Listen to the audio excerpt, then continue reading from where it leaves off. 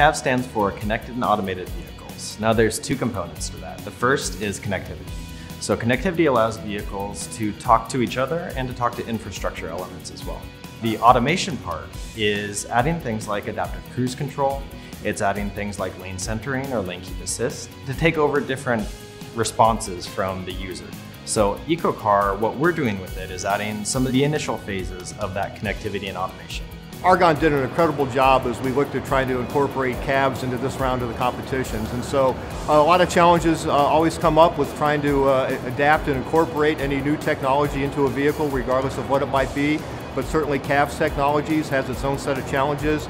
Uh, and Argonne did a wonderful job of providing that assistance to the teams, working with them throughout the process of these last four years as they incorporated these technologies to make sure that they not only work, but work the way they're meant to be. Over the last four years, teams have had major accomplishments.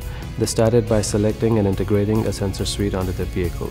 This suite includes a radar, camera, LiDAR, and V2X radios. Data from these sensors were used to deploy a sensor fusion algorithm that was used to track target vehicles. Teams also deployed longitudinal control features like adaptive cruise control and automated intersection navigation. ACC allows vehicles to follow a lead vehicle with a full speed range. We developed this testing tool as part of a collaboration between Argonne and the Mobility Innovation Hub at HORIBA MIRA. Uh, it's designed to use HORIBA's DigiCab platform and we've pretty heavily customized it to enable some pretty interesting energy consumption testing. So we've used this in this last EcoCar competition to evaluate seven different prototype ACC drive systems across a number of different hybrid drive systems as well. Um, and we were able to successfully complete all these tests in a very, very short period of time. The connected and automated vehicle track is an, such an exciting track to participate in because it's such a it's such a complex problem to solve. We have algorithms that are fusing object detections from our different sensors to decide where a vehicle on the road is. We've got another algorithm that's deciding what how to make the vehicle move based on those detections. Uh, you know, we can stop for traffic lights. There's just so many different aspects to it. With automated intersection navigation capability, the vehicles use intersection to vehicle or I2V information such as signal phase and timing and map to autonomously navigate a signalized intersection. My foot's not on any pedal. Yep, and it, it's slowing down a little bit because we're getting close, and then it'll bring you to a stop right on that line there.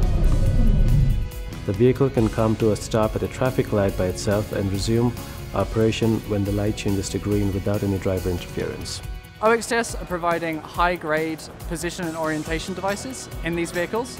The reason that we benefit from EcoCar is visibility for both the students, who are going to be the future engineers of mobility, and then also what we do for the world in terms of bringing safer vehicles to the road for vulnerable road users, pedestrians, and everybody. NXP uh, products are all the, uh, the, computing elements. NXP provides not only the uh, parts, but also provides the enabled platforms, the software, the tools, and of course a lot of training. We feel very fortunate to be part of this journey uh, with the, working with the universities and the students. I get to work on groundbreaking technologies that enable vehicles to be safer as well as more efficient on the roads and this is just enabling a better driving experience for the driver as well as everyone else.